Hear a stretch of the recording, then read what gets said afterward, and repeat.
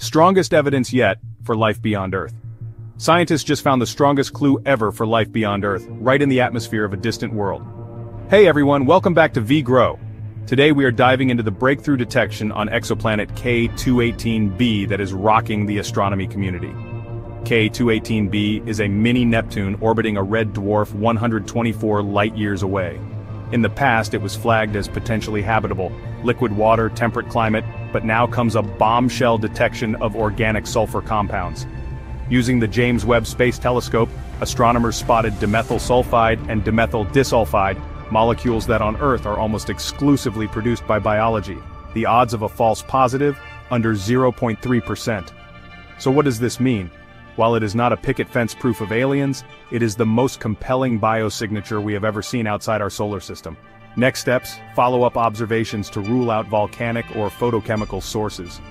If these results hold up, we might finally have evidence that life is not unique to Earth.